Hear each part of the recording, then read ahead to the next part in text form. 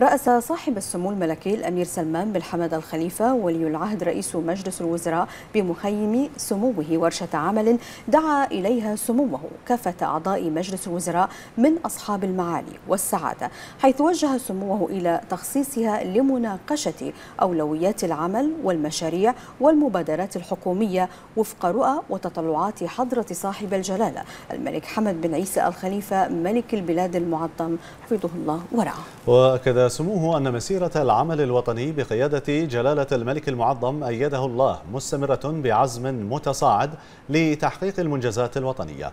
وسيظل ميثاق العمل الوطني هو الأساس الذي تستمد منه هذه المسيرة نهجها فهو المظلة الجامعة لكافة الجهود الوطنية ومبادئه تقود دوما نحو مزيد من العمل من أجل الوطن والمواطن. وقال سموه مستمرون في تحقيق محددات رؤية البحرين الاقتصادية 2030 الهادفة لتعزيز التنافسية والعدالة والاستدامة عبر عدد من المبادرات الحكومية لمواصلة الجهود لتحقيق الاستدامة المالية وتأمين البيئة الداعمة للتنمية. وأشار سموه إلى أهمية تبادل الرؤى والأفكار مؤكدا بأن ما مر به العالم من ظروف استثنائية وما شهدناه من تأثيراتها على كافة الأصعدة. تتطلب منا اليوم صياغة خطط تستجيب للتحديات وتدشين برامج جديدة واستثنائية تلبي متطلبات مختلف المراحل. ووجه سموه حفظه الله إلى مواصلة التركيز على القطاعات الاقتصادية الواعدة ذات الأولوية من خلال العمل على تعزيزها وتوفير كافة المتطلبات التي تسهم في تنمية كل قطاع من هذه القطاعات المؤمل منها رفض الاقتصاد الوطني وتعزيز نموه وتوفير الفرص للمواطنين.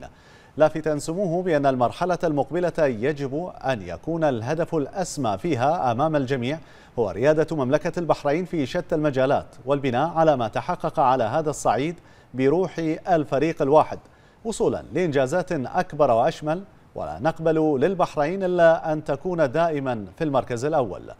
وأكد سموه على أهمية مواصلة الابتكار لتحسين كفاءة وجودة الخدمة الحكومية وفق أفضل المعايير وأن يكون رضا المواطن عن هذه الخدمة هو مقياس نجاح برامج التطوير. ووجه سموه لمواصلة التجاوب السريع والمخلص في خدمة أبناء الوطن والمقيمين وفق إجراءات بسيطة وشفافة وبعيدة عن البيروقراطية.